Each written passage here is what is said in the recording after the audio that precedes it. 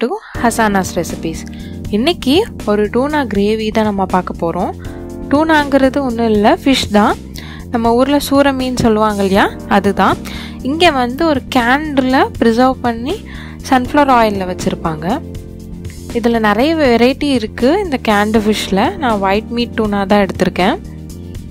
இது வந்து one sixty gram ஒரு ரெண்டு பேருக்கு வந்துட்டு சப்பாத்திக்கு சைட் டிஷ்ஷாக சாப்பிட்டுக்கலாம். இதை ஓப்பன் பண்ணிங்கன்னா அந்த ஃபிஷ் வந்து வித் சன்ஃப்ளவர் ஆயிலோடு இருக்கும். இங்கே பார்த்தீங்கன்னா தெரியும். ஸோ இந்த சன்ஃப்ளவர் ஆயில் வந்து நம்ம யூஸ் பண்ண போகிறதில்ல அதை வந்து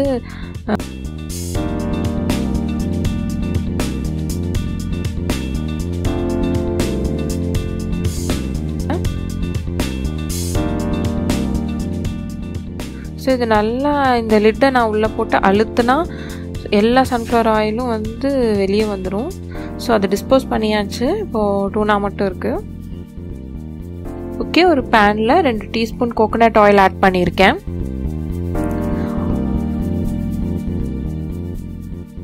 ஆயில் ஹீட் ஆனவுடனே அந்த டூனாவை வந்து இதில் ஆட் பண்ணி ஒரு மீடியமாக ஃப்ரை பண்ணிக்க போகிறோம் லைட்டாக கலர் மட்டும் சேஞ்ச் ஆனால் போதும். நல்லா உடச்சி விட்டுருங்க.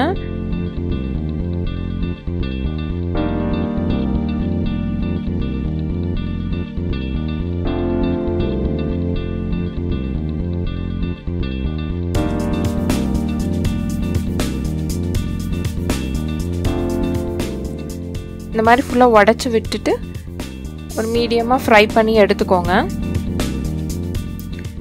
ஒரு பிளேட்டில் ட்ரான்ஸ்ஃபர் பண்ணி அதை வச்சுட்டேன். அதை இப்போ யூஸ் பண்ண போகிறதில்ல ஃபஸ்ட்டு கிரேவிக்கு ஒரு இன்க்ரீடியன்ஸை பார்க்கலாம். சேம் பேனில் நான் ஒரு three teaspoon coconut oil add பண்ணியிருக்கேன்.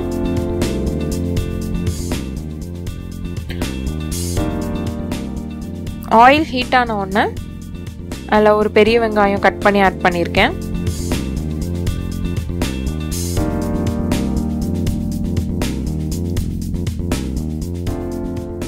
லைட்டாக கோல்டன் ப்ரௌன் ஆனால் போதும். அது வரைக்கும் ஃப்ரை பண்ணுங்கள் இந்த மாதிரி.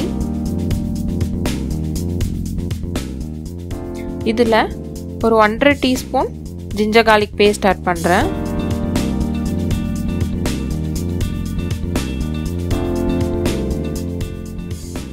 இதோட பச்சை வாசனைலாம் போகிற வரைக்கும் நல்லா வதக்கிக்கோங்க.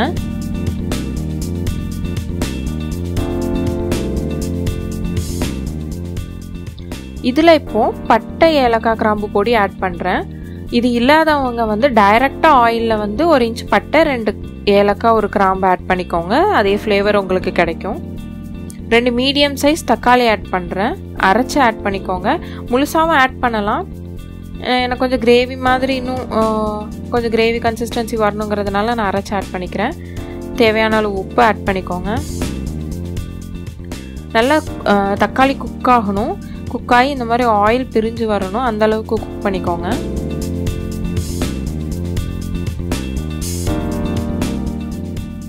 இப்போ இதில் ஒரு ஸ்பூன் மிளகா பொடி அரை ஸ்பூன் கரம் மசாலா ஆட் பண்ணிக்கிறேன். நல்லா இதோட பச்சை வாசனை போகிற வரைக்கும் நல்லா ஃப்ரை பண்ணி விட்டுக்கோங்க.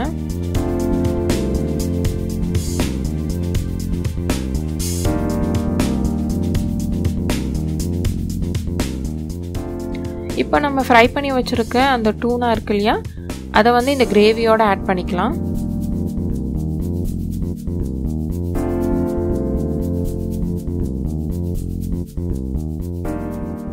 நல்லா அந்த கிரேவியில் இருக்க மசாலாலாம் இந்த ஃபிஷ்ஷோட மிக்ஸ் ஆகிற மாதிரி ஆட் பண்ணி நல்லா வதக்கி விட்டுக்கோங்க.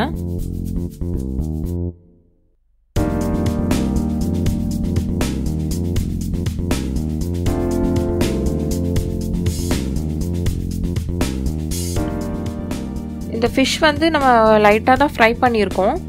ஸோ இது குக்காருக்கு தேவையான அளவு தண்ணி ஊற்றிக்கோங்க நமக்கு கொஞ்சம் கிரேவி மாதிரி வேணும். அதனால் கொஞ்சமாக தண்ணி ஊற்றிக்கோங்க தண்ணி ஊற்றி நல்லா இப்போ குக் பண்ணிக்கோங்க.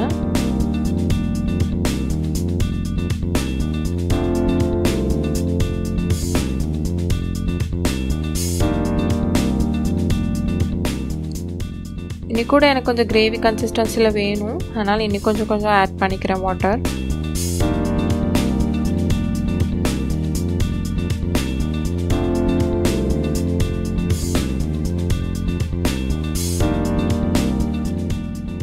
இது ஒரு three to five minutes medium ஃப்ளேமில் வச்சு குக் பண்ணிக்கோங்க.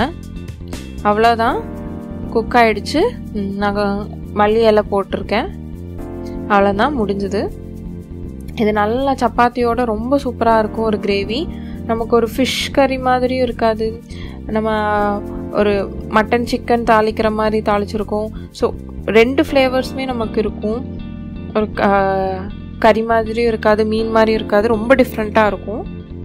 இது நம்ம ஊரில் கிடைக்கிது.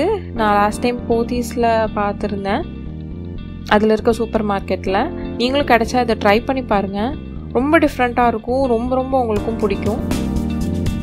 வீடியோ உங்களுக்கு ரொம்ப பிடிச்சிருந்துச்சுன்னா லைக் பண்ணுங்கள் ஷேர் பண்ணுங்கள் subscribe to my channel thank you